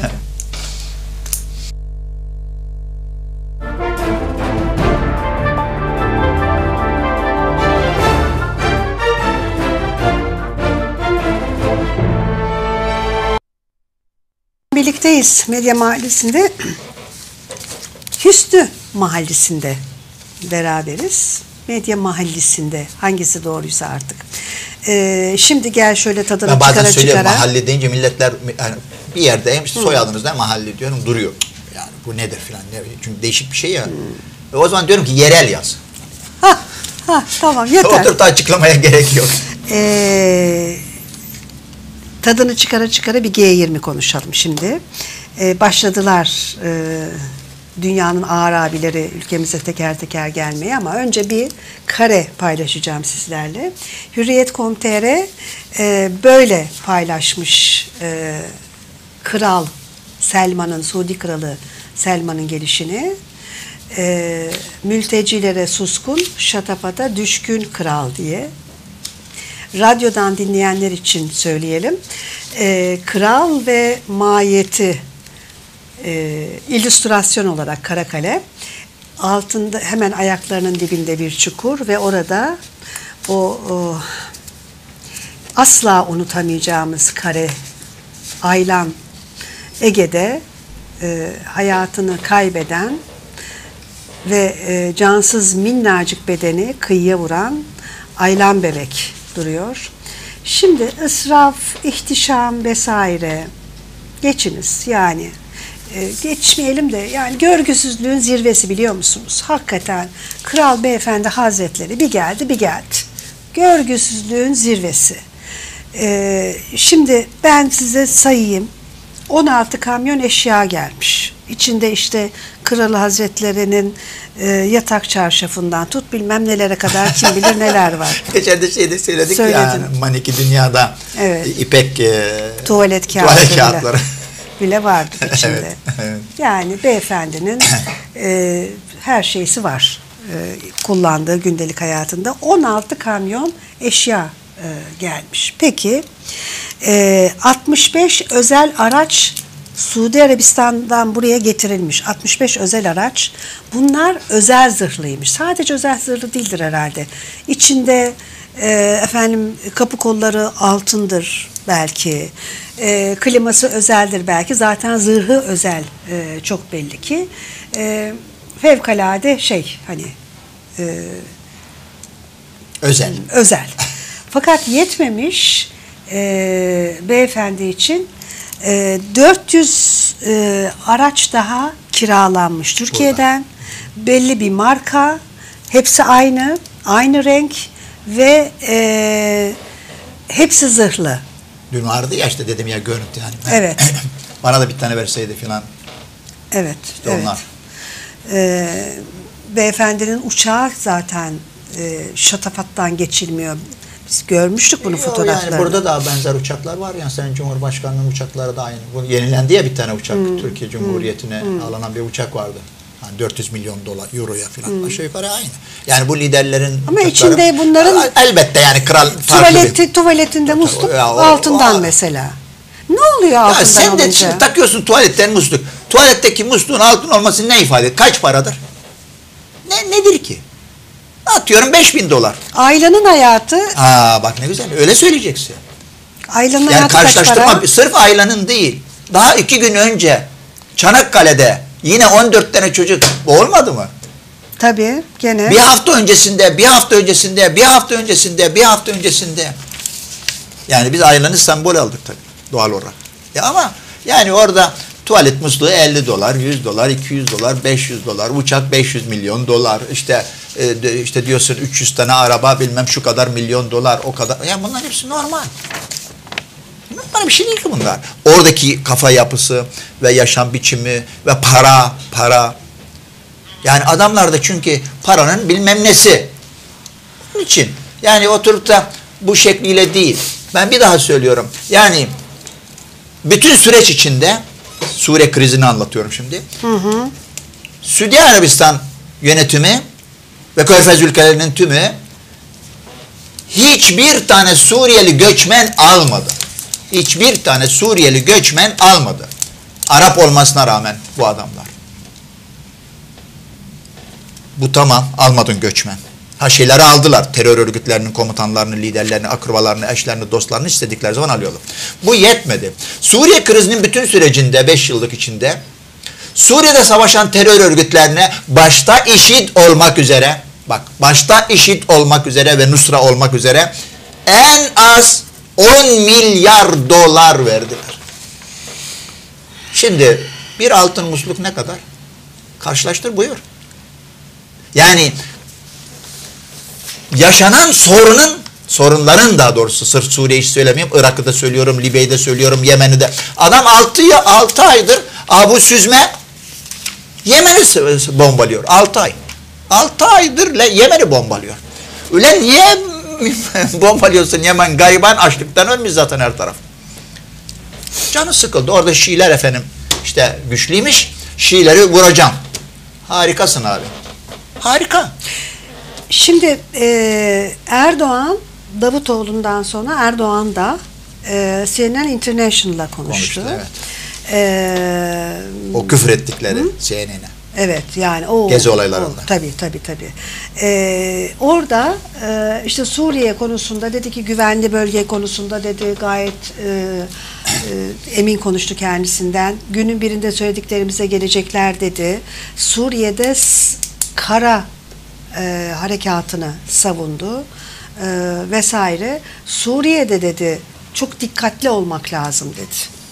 Şimdi tekrar G20 zirvesine döneceğiz çünkü çok önemli bir zirve. Ama Mehmet Yılmaz'ın bugün konuyla ilgili tam da Erdoğan'ın bu söylediklerine yaklaşımlarına değinen bir yazısı var. Ee, onu izleyelim, devam edelim. Cumhurbaşkanı Recep Tayyip Erdoğan bütün dünyayı uyardı ve şöyle konuştu. Suriye ateşine odun taşıyan herkes çok yakında kendini aynı ateşin içinde bulmaktan kurtulamayacaktır. Bu samimiyetle ifade edilmiş dostça bir ikazdır. Ben de bir şey ekleyeyim. Bu sözler Cumhurbaşkanının samimi ve dostça ikazı olmakla birlikte aynı zamanda bir uzman görüşü de sayılmalıdır. Çünkü Suriye ateşine odun taşımanın neye mal olabileceğini en iyi bilecek durumda olan biziz. Bakın, şu anda 2,5 milyon Suriyeli göçmen topraklarımızda yaşıyor. Güney sınırımızdaki küçük kentlerde Suriyeli göçmen sayısı orada yaşayan Türk vatandaşlarının sayısını geçti. Başbakan Yardımcısı Numan Kurtulmuş, Suriyeli mülteciler için bugüne kadar 7.6 milyar dolar harcadığımızı açıkladı.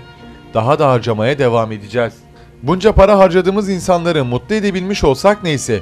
Öyle bir şey de yok. İnsanlar perişan. Çocuklarının geleceği karardı.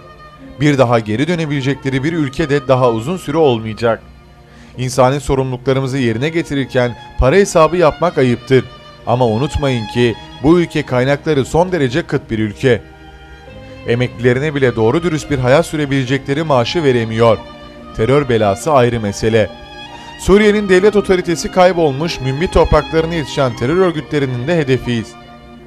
Yüzlerce insanımız bu terör saldırılarında kaybettik. Sayılarını bilmediğimiz gencimiz bu terör örgütünün insan kaynağı oldu. Hatayı en başında Suriye ateşine odun taşıyarak yaptık çünkü. Bir ülkenin en çok çekinmesi gereken şeyin bir sınır komisyonunda çıkacak iç savaş olduğunu düşünemedik. Müslüman kardeşler iktidara gelecek heyecanıyla Şam'da namaz kılmayı hayal ettik. Sınırlarımızı dünyanın dört bir yanından gelen cihatçılar Suriye ateşine daha çok odun atabilsinler diye açtık.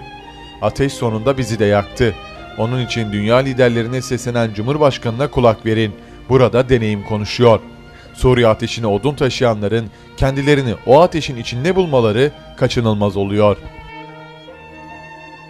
Şimdi hakikaten doğru söylüyor. Yani Suriye, Erdoğan da doğru söylemiş. Suriye ateşi herkesi yakar demiş.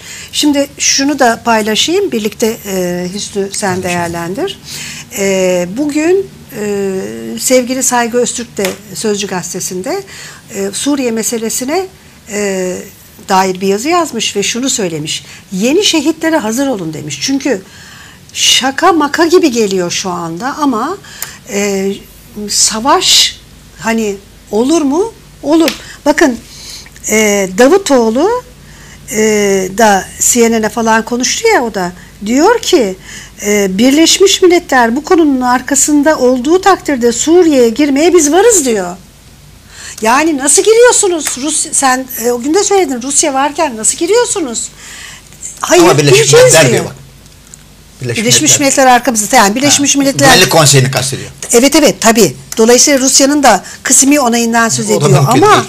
ama neticede orada bir de facto oldu bittiye de yol açabilir bu iktidar.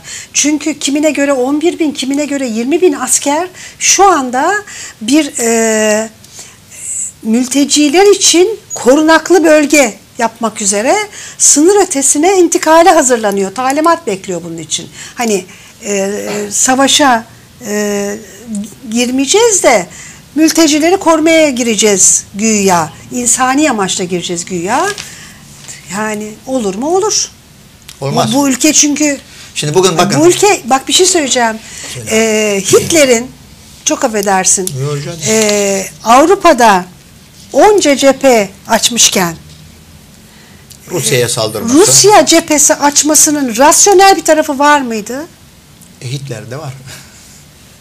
yani onu söylemek istiyorsan Hitler'de vardı. Yani Hitler'de vardı. Rusya'ya e, cephe açmaya, Rusya ile savaşmaya ki daha yeni saldırmazlık paktı imzalamışlardı Stalin'le Hitler. Tamam da işte Napolyon'un intikamını almak istiyordu. Canım Napolyon Fransızdı. Neyin Fark intikamını etmez. almak istiyor? Kendince yani onları gidip orada. Orada Ya zaten Hitler'den söz Orada ediyoruz. bunu yapabiliriz diye umut E, etti. tabii tamam da işte ben onu söylüyorum. intikamı. Hitler işte yani. Hitler. Yani Hitler'den söz Yani ediyorsun. eğer Geldiniz akıl devreden çıkmışsa çıkınca böyle olur. her şey Şimdi bak, olabilir. bugün Onu demek yani istiyorum. Sayın Cumhurbaşkanı'nın şeye e, CNN'e verdi deme şeyde röportajda bir yerinde şöyle diyor yani bu olmazsa Batı bizi anlamazsa şu demin anlattığımız Hı hı. hikaye e, bizim B, C filan planlarımız da var diyor. Evet. Yani B planı bilemiyoruz, C planı bilemiyoruz, D planı var mıdır, nedir? Nedir bu plan? Yani Batı eğer sana izin vermiyorsa, Batı değil dünya hadi diyelim. E ne yapacaksın? B planı ne? Gireceksin. Nereye gireceksin? Karşında Rus asker var. Havada Rus uçaklar var. Hem de en gelişmiş teknolojilerle var. Öyle şakası yok yani. Dünyanın en gelişmiş silahlarıyla var. Tabii. E, e, oradan diyelim ki Rus sana bir tane füze fırlattı.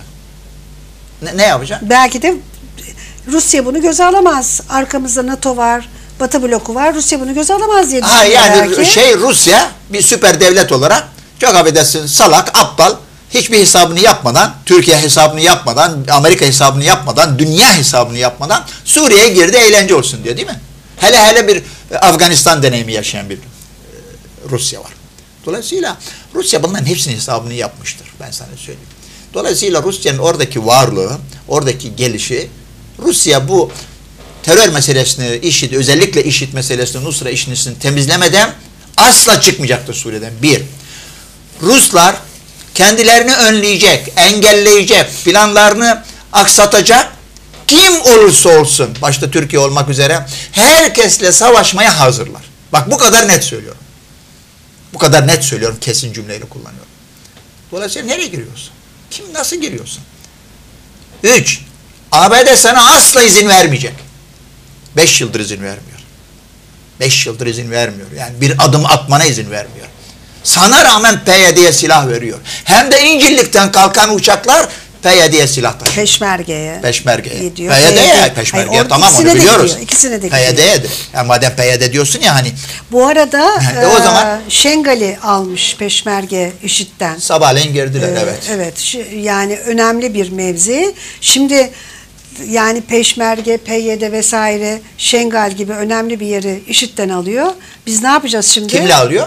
Kimle alıyor? Amerikalılarla alıyor. Beraber E tamam, çalıştılar. beraber alıyorlar, O müttefik evet. olarak demek işte oraya yani oraya ne aynı şeyi yapacağız? söylüyoruz. Ha, İşte buna rağmen ben gireceğim. Sen diyorsun ya 10 bin kişi 15 asker koyduk oraya.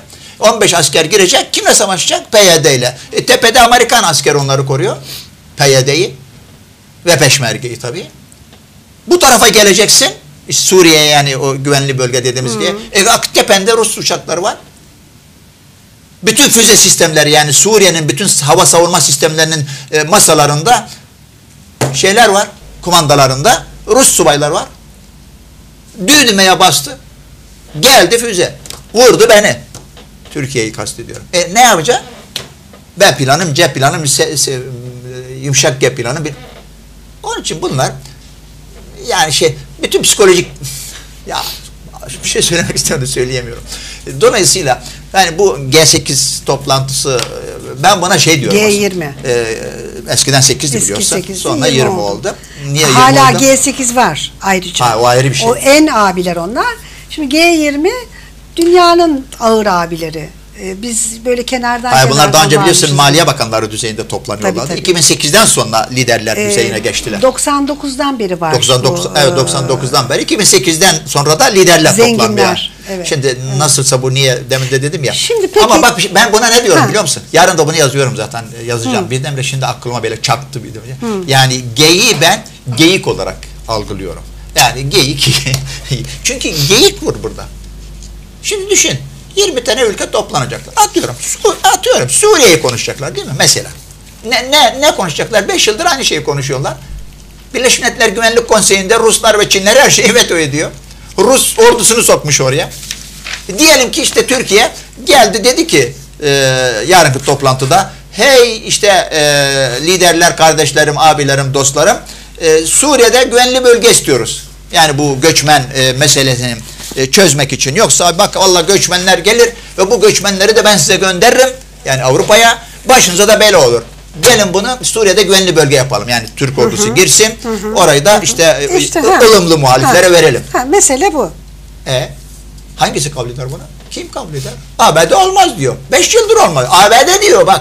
Rus'tan vazgeçtik hadi. Ama bize sonra e, tamam da biz evet batıdan batılı kaynaklardan bu haberleri alıyoruz. Tamam. Sen batı artı Arap kaynaklarından Tamam. bu haberleri alıyorsun. Sonra ama bize dönüyor e, bu ülkenin başbakanı, cumhurbaşkanı diyor ki e, o konuda diyor çok önemli mesafe kat ettik diyor. E, batılı ortaklarımızla. E, beş diyor. yıldır kat ettik. Geldiğimiz nokta Yani doğru mu söylenmiyor E, e, bize?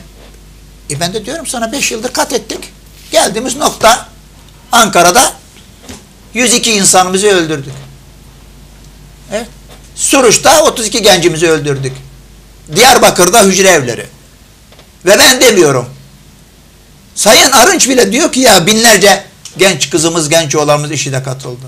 Devletin istihbaratında çıksınlar açıklasınlar kaç tane işitçi var bu ülkede. En son e, bir IŞİD operasyonu yapıldı helikopterli falan pek bir havalı. Evet. Kaç kişi yakalandı? E işte bak. 11. E yani eğer oysa 11 kişi Yani Batı'yı evet ikna edeceğiz, şunu yapacağız falan bunu diyorsan e buyursun abi yani o zaman yapacak bir şey yok. Batı asla ikna olmaz. Batı böyle şeylerle gelmez. Batı'nın kendine göre farklı planları var ve bu planların içinde Türkiye'nin hiçbir söyleminin hiçbir değeri yok. Beş yıldır olmadığı gibi. Beş yıldır olmadığı gibi söylüyorum bak. Beş yıldır Türkiye Suriye'nin kuzey kuzeyinde tampon bölge kuracak. Beş yıldır Türkiye Suriye'nin kuzeyinde e, güvenli bölge kuracak. Beş yıldır Türkiye Suriye'nin kuzeyinde uçuşa yasak bölge kuracak. Beş yıl. krizinden bugünden, ilk günden itibaren. Yok diyor Batı olmaz. Olmaz abi olmaz ne yaparsan yap. Takla da atsan yok diyor olmaz. Şimdi tamam Ee, bunu bir kenara. Mültecilere dönelim.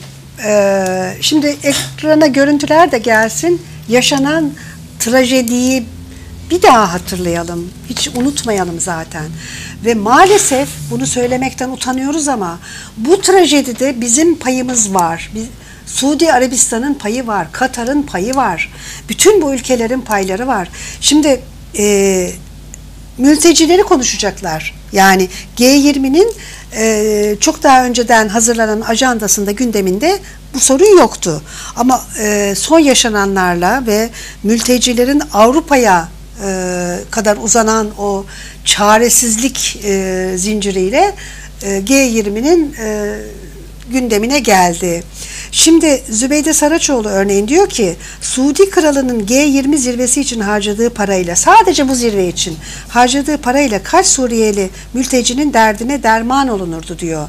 Şimdi böyle bir e, sorunun yanıtı olmadığını biliyor elbette Zübeyde Saracoğlu.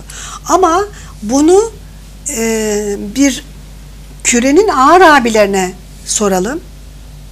Kürenin ağır abileri hiç değilse e,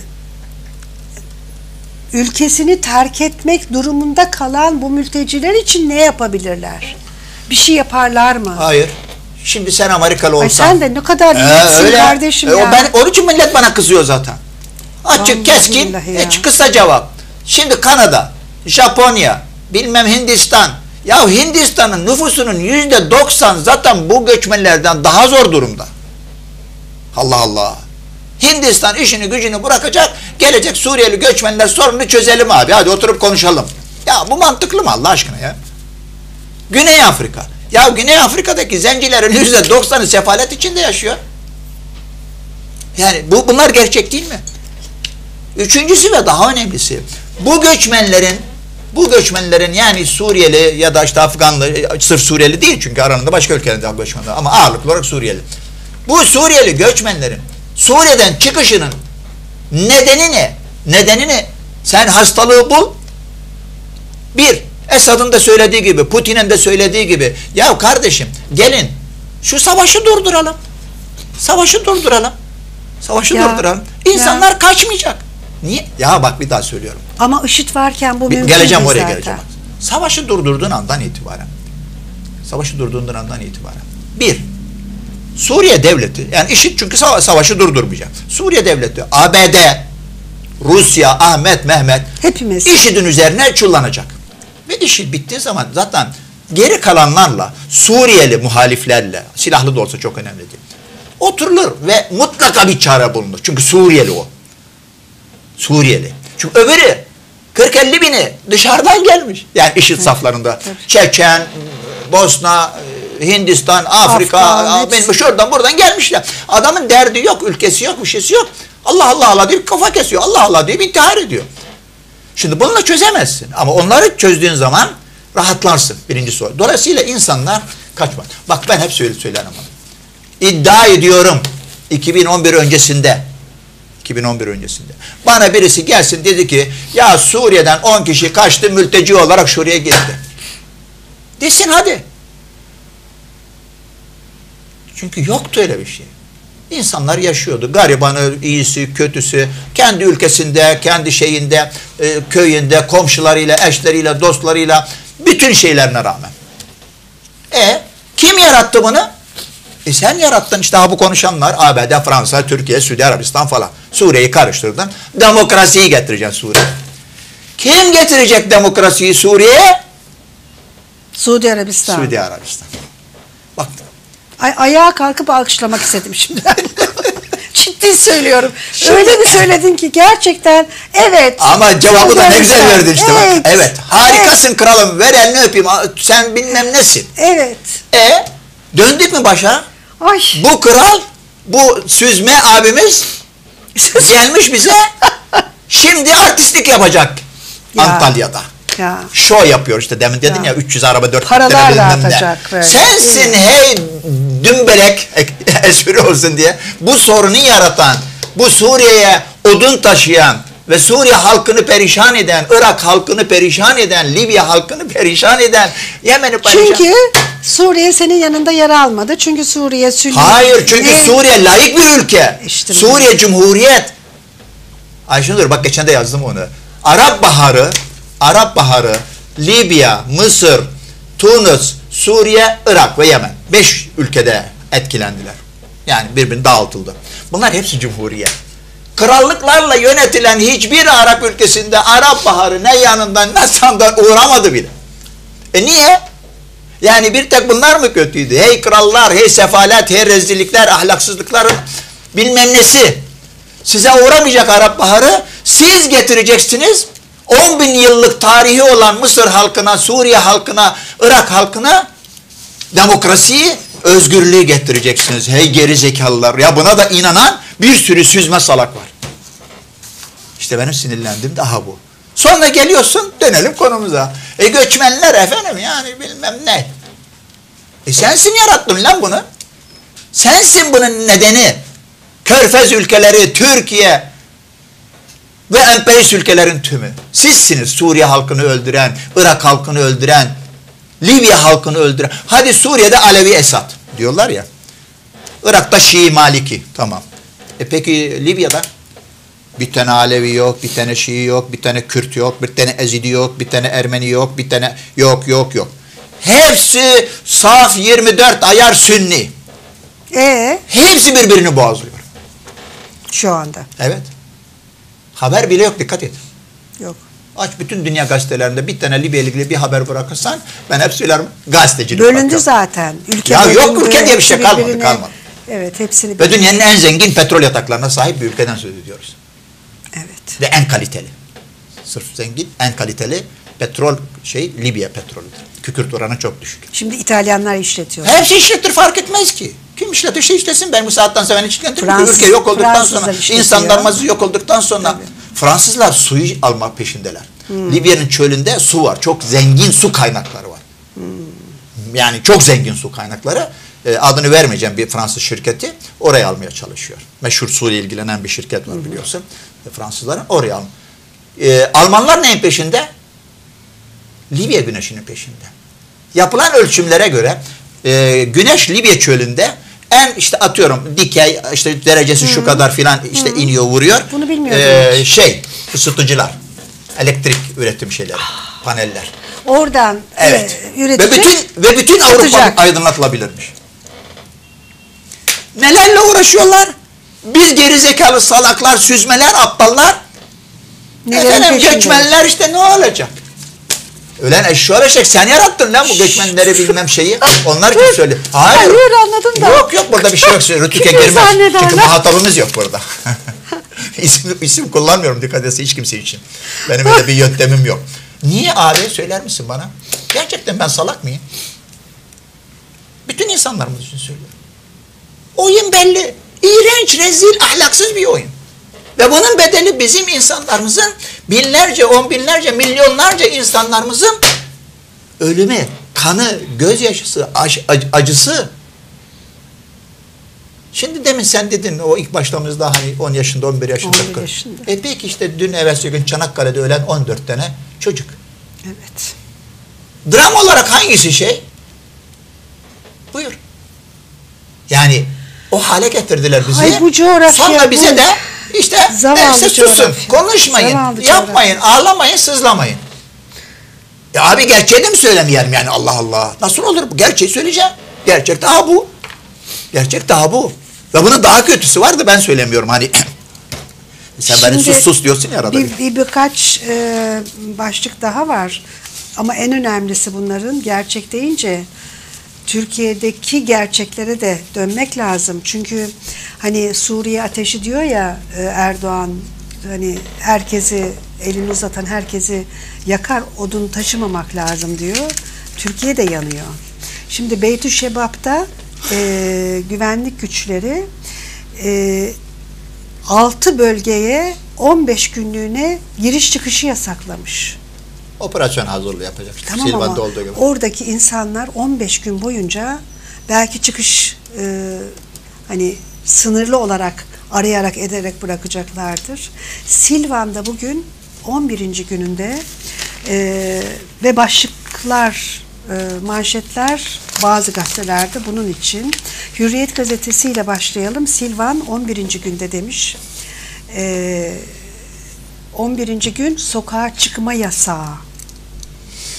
Bir e, ilçe düşünün ki 11. gün bugün e, insanlar sokağa çıkamıyor. Özel izinle çıkabiliyor. E, Ha, sokağa özel- çıkma tamam. Bir de şey var. Bomba sesleri. Çoluk Tabii. çocuk Of delik deşik. helikopterler tepende uçuyor. Toplar güm güm güm güm tepende çalışıyor sürekli.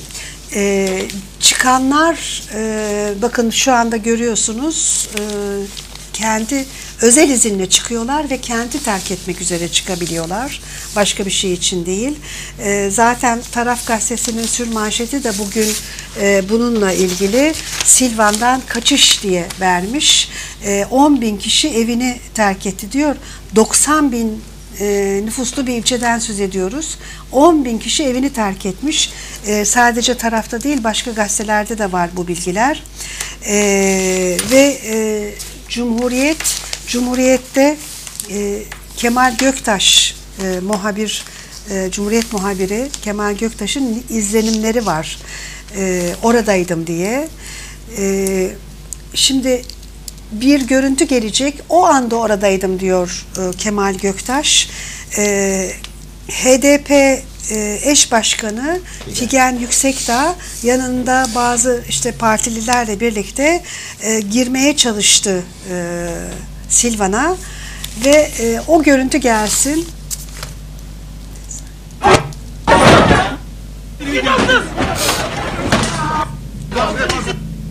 Guarda Viali, guarda Viali! Dondurması lazım orayı. E, Dondurabilirsin. bi- Birazdan zaten an- anlaşıldı zaten biraz daha göz tam o vurduğu anda başlıkta vermeden donduralım Hüseyin. Duralım.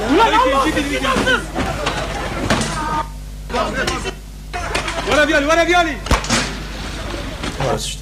Biraz geri biraz geri. Ha orası. Evet. Biraz geri. Şimdi eee e, Figen Yüksekdağ eee gaz fişeği kafaya geldi.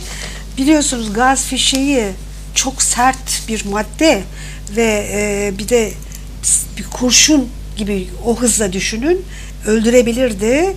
Neyse ki Yan tam tarafından. eee, kafasının arkasına ya da işte omurilik Yan tarafından falan şu- gelmemiş yan tarafından şöyle öldürürdü geçmiş tabii. dolayısıyla hakikaten ölümden dönmüş. Şimdi eee, bakın Figen Hanım'a da geçmiş olsun söyleyelim burada. evet Orada. evet şimdi elbette teröre karşı mücadele edecek devlet ama devlet devlet gibi mücadele etmeli.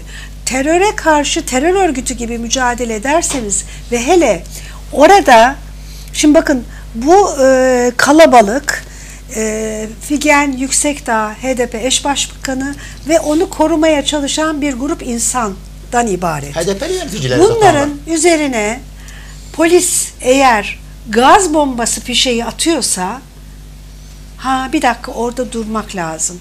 Çünkü bu terörle mücadele değil. Bu yapılan terörle mücadele değil. Ee, sıradan evlere e, bomba yağdırmak, işte kurşun e, yağdırmak, e, kurşun yağmuruna tutmak terörle mücadele değildir. Orayı kapatmak, gazeteciye kapatmak zor girmiş e, Kemal e, Göktaş. Notları var e, haberinde. E, bir başka dünya sanki orası.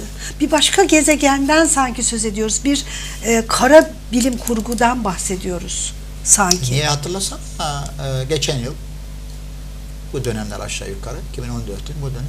Kobani'deki görüntülerden ne fark var?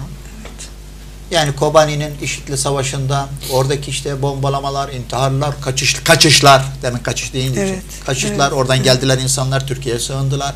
Şimdi düşün, buradan e, kaçan insanların Kobani'ye gittiğini düşün. Yani tersi bir göç yaşandığını hayal edelim, hayal edelim. Ne- Ne kadar şey değil mi bu? İlginç bir hikaye. Şimdi burada bir de şunu söyleyelim. Bu fotoğrafların bazıları dış mahallelerden o kaçışlar falan olduğu ve sınırlı yerlerden çekilebilmiş görüntüler. Çünkü gazetecilerin, e, siyasetçilerin vesaire girmesi e, Silvan'a yasak, Yasak. giremiyorlar. Tabii. Yani belli bir Merkeze- yere kadar giremiyorsun, evet. Sonra ya da olayların olduğu Bulunduğu yere bölge. e, oradaki hasarı tespit edemiyorsunuz. Şimdi e, gerçekten dediğim gibi teröre karşı devlet mücadele edecek, elbette edecek. Ve PKK bir terör örgütü ona karşı mücadele edecek, evet. Ama devlet devlet gibi mücadele etmelidir. PKK gibi mücadele ettiği zaman o zaman terör örgütünden farkı kalmaz devletin. O zaman onun adı e, Kürt Türk Savaşı'na çıkartılır ki özellikle bu yapılmaya çalışılıyor. Yani e, savaş değil terörle mücadelenin e, sivilleri korumak gibi bir kere peşin bir kuralı vardır, olmalıdır. E Evet yani işte işi, işit, e, işitçileri koruduk ya. Evet, evet doğru. Koruduk ya. Onları koruduk. Yani gidin Ankara'da patlatın diye dedik mi demedik mi? Dolaylı bir şekilde. Ya da işte Suruç'taki olayda yaptık mı yapmadık mı? Yani terörle mücadele dediğin için söylüyorum. Yani o terörle mücadele evet terörle mücadele ama bu terörle mücadele değil. Bunları bırakalım gitsinler orada 102 insanımızı öldürsünler. Suruç'ta 32 gencimizi öldürsünler. Onları bir seyredelim biz bakalım bunlar ne yapacak ya. Makul şüpheli değiller bundan sonuçta. Yaptık mı yapmadık mı? E aynı şeyi orada yapalım. PKK'lar için. Karşılaştırma her ne kadar farklıysa da farklıysa da e niye onu yapmıyoruz? Evet. Onu yapmazsın. O zaman ne olacak? Aa, başa döneceğiz. Çünkü bu sistem böyle. Dün de sen işledin ya bunu. Birisini yerde sürüklersin bir genç kızı Ya. merdivenlerden. Öbürü de kelepçelendi diye iki tane türbanlı bacımız kıyamet kopacak yani bütün. E şey Ee, e, sözcü bir başka konuşacağız. fotoğrafla bunu vermiş. Türbanlı olunca değerli, başık e, açık olunca değersiz diyor. E, birinde işte türbanlı genç kız var. Diyor ki bu yanlış e, Sözcü gazetesi. Yanında bir e, üniversite öğrencisi yok protestosunda. Onu da yere yatırmışlar. Elleri arkadan Arkadan kelepçeli. Bu da yanlış ama Birinde e, türbanlı bacı olunca hemen ayağa kalktılar. E, Manisa Emniyet Müdürü görevden uzaklaştırıldı. Diğerinde hiçbir şey olmadı. Herkes seyretti o yere yatırılıp ters kelepçe takılan kızı. Ters kelepçe üstelik de. Hadi ondan. Korkunç ha, bir şey. Ha, ha korkunç değil. Ha, işte senin dediğin de şu demin, işte. Ya şu, şu felaket bir şey ya. Yani merdivenden Yani, sürüklenmesi. ben bakamadım yani ilk şeyini. Valla inan yani çok böyle tüylerim şey oldu yani diken diken oldu bunu senin. Çok sinirlendim bunu görünce. Şimdi buna benzer tabii yüzlerce binlerce görüntü yaşadık son 3-5 yılda. Ha, tamam bunlara. Bunu bir daha vermeyelim. Hüseyin hakikaten, e, hakikaten insan, insanlık dışı bir şey ya. yani. Ya hadi şey. onların tümünden vazgeçtik. Demin verdiğimiz e, görüntü. Figen Hanım'a e, atılan kurşun. Evet. Bu ne ya? Ya bir Bilerek çünkü bak yani bir kafasına milletvekili- kafasına at. Ya bırak milletvekili. Hayır tamam da ama onun da bak Hayır, bir şey ayrı ayrı. milletvekilinin bir Sen de, de- her anlamda dokunulmazlığı Var, onu o biliyorum. Bile bile atıyorsun. Kafasına sen atıyorsun ya. Evet. Onu Kafasına demek istiyorum. Sıkıyorsun, Sıkıyorsun denir işte. ona. Yani bilerek nişan alıyor ve vuruyor. E bu ne? Onun için yani neyse ben söylemeyeyim ya. Söyleyecek o kadar laf var ki Şimdi yani bu peki sen başka bir söyleme ben de geç. söylemeyeyim. Ee, Candaş Tolga Işık bugün Posta Gazetesi'nde bu konuda yazmış.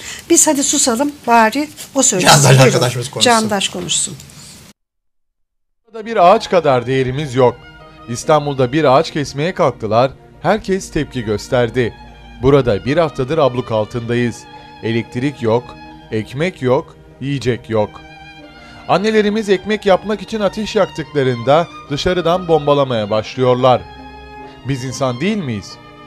Biz Müslüman değil miyiz? İnsanız biz de insan. Din, ırk fark etmiyor. Kardeşlerimiz ölüyor. Silvanlı bir gencin ilçede günlerdir bitmeyen sokağa çıkma yasağına isyan ettiği bu videoyu seyretmişsinizdir. Silvan'ın 3 mahallesinde uygulanan sokağa çıkma yasağında 10 gün geride kaldı. Cep telefonu çalışmıyor. BBC'den Hatice Kamer'in sabit telefon aracılığıyla ulaştığı bir Silvanlı, ilçenin yarısında hayat bitti diyor. 1990'larda terör örgütü PKK'ya katılıp yıllar sonra pişmanlıktan faydalanarak dönmüş eski bir PKK'lıdan duyduğum bir hikaye vardı. Çocukken bizim köy yolunda özel tim araçları yarış yapardı. Son hız girer, son hızda çıkarlardı. Biz de o yollarda oyun oynardık. Bir gün o araçlardan biri bir arkadaşımıza çarptı. Bir saniye bile durmadan geçti gitti. Yahu köpeğe vursan bir durup bakarsın değil mi? Ne durdular ne baktılar. Çarptıkları kız hastanede öldü. Ben 14 yaşındaydım. O gün dağa çıkmaya karar verdim. Şimdi hata yaptığımın farkındayım. Ama inşallah büyüklerimiz de şunun farkındadır. O araç köyden son hızla ayrılırken aklında dağa çıkma fikri olan tek çocuk ben değildim. 1990'larda devletin terörle mücadele adı altında bölge halkına reva gördüğü zulüm binlerce genci PKK'nın kucağına attı. Yaşadıklarımızdan azıcık ders alalım. Allah aşkına 10 gün sokağa çıkma yasağı mı olur? 10 gün boyunca evden çıkmadan yaşamak zorunda olduğunuzu bir düşünün. Yazıktır, günahtır. PKK terörüyle mücadeleye kimsenin itirazı yok. Ama kimse kusura bakmasın. Kendi insanın hayatla bağlantısını 10 gün koparmanın adı terörle mücadele değil, bildiğin terör eşektir. Evet, tam da bu. Tam da bu. Yani bir vakitler hani Suriye ateşine odun taşımaktan söz ediyor ya Erdoğan. Tam da yapılan o olduğu halde terörün alevine, ateşine odun taşımak da budur. Oradaki vatandaşı da e, zulümle onun yanına itersiniz. 10 gün hastası var, hamilesi var, okulu var bunun e, elektrik sıkıntısı, ekmek sıkıntısı, sokağa çıkamamak bir koskoca bir ilçeyi delirtiyorsunuz ya. Niye Cizre'yi niye unuttuk? İşte Aynı Cizre olmadı mı delirmedi mi zaten? Kim? Allah Unuttuk aşkına. gitti. Silvan geldi. Silvan da unutacağız. İşte Beytü Şebap, Beytü Şebap 15 gün e, şimdiden ilan etmişler sokağa çıkma yasağı var diye. Diyorlar ki e, giden hemen gitsin, hemen gitsin. E, Biz orada kalan 6 mahallede, 6 mahallede 15 gün sokağa çıkma yasağı. Bu ne ya? Şimdi tabii hani kimine kurşunlar, kimine sevdanın yolları. E, e, genç var, genç var. İnsan var, insan var. Cumhuriyet Gazetesi'nden Hazal Ocak, ellerine sağlık. Bir habere imza atmış. Hürriyet'te, e, Cumhuriyet'te birinci sayfasından vermiş. Ee, İBB dediği İstanbul Büyükşehir Belediyesi'nden TÜRGEV'e 1 Kasım hediyeleri. 1 Kasım e, hemen ertesinde yani herhalde 2 Kasım pazartesi bilemediniz 3 Kasım salı e, İstanbul Büyükşehir Belediyesi'nde bir takım kararlar çıkmış. TÜRGEV'e Bilal Erdoğan'ın malum vakfı TÜRGEV'e e, yurt yapsınlar diye 6 adet taşınmaz bedelsiz tahsis edilmiş. Taşınmaz dediği binalar falan. Vakıf binaları. Vakıf yani Devlete ait belediyeye yani. ait binalar. Belediyenin kim bilir işte eski Rumlardan kalma oluyor. Vakıflar var, Ee, işte e, Ermenilerden Ermenilerden kalma, kalma. vesaire. Ya Taşınmaz Osmanlı'dan dedikleri kalma. Osmanlı'dan kalma. Taşınmaz dedikleri binalar. Bunlar bedelsiz olarak buyurun demişler. Sadece ona da vermemişler. Ensar Vakfı 7 bina, Aziz Mahmut Hüdayi Vakfı 4, Asitane Kültür Vakfı 1, Darülfünun Vakfı da bir adet olmak üzere 19 taşınmaz yandaş beyefendilere eee, işte kadın sokağa çıkmasın diyen özellikle zihniyete sahip Ensar Vakfı falan bilmiyor muyuz? Görmüyor muyuz kimler olduğunu bu vakıflarda? Beyefendilere yurt yapılmak üzere. Yani bir zamanlar cemaatin vardı ya yurtları, işte e, evleri, ışık evleri. Öğrendiler cemaatten. Şimdi e, burada yapıyorlar. E, senin Katar'da gittiğin üniversite, kızlar, erkekler gene okuyorlar. Okuyacaklar gene. Ama nasıl? Ayrı ayrı yerlerde. Kız üniversiteler açılacak yakında. Kız yurtları olduğu gibi. Buralarda e, beş vakit namaz için e, kız çocukları e, özendirilecek tırnak içinde. Eğer o yurtta kalmak istiyorsan mecbursun. Tercümesi bu. Şeyde de öyle. Yani e, IŞİD'in, Nusra'nın, USO'nun Suriye'de savaşan terör örgütlerinin kontrol ettiği bölgelerde aynı bu senin dediğin gibi. Yani e, ilkokuldan başlayarak kızlar ve oğlanlar ayrı. Zaten. Aa, kesin kesin hiç böyle bir şey olamaz. Hocaları da erkek olamaz. Yani o 3 yaşında 5 yaşında kız çocuklar var ya onların da hocaları öğretmenleri e, erkek olamaz. Ne olur ne olmaz. Kadın olması lazım. İşte bu yurtlarda Şimdi daha önemlisi geleceğim. Sen diyorsun ki bu. TÜRGEF'e verildi 7 bine 8 bine. Bu terör örgütlerinin üso, müso işte bunların buradaki yandaşları var. Türkiye'de, Türkiye'de yandaşları var ve bunların da okulları var. Türkiye Cumhuriyeti sınırları içinde okulları var ve vakıfları var ve bunlar da aynı şekilde belediyeler tarafından onlara tahsis edilen binalar, e, sokaklar, hanlar, hamamlar ve o bu bunların da eğitim sistemi de aynı. Ya. Yani Suriyeli göçmenlerin de çocukları böyle yetiştiriliyor. Devletin tırnak içinde buradaki devletin sevgili duygusal dayanışmasının ve desteğinin sayesinde. Cumhuriyetin ve laikliğin sıfırlandığı bölgeler bunlar. Bu layıklık dediğin nasıl bir şey? İşte.